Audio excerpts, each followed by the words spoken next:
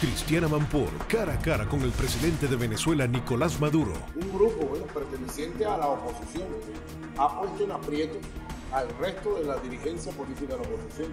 Esta noche, en CNN.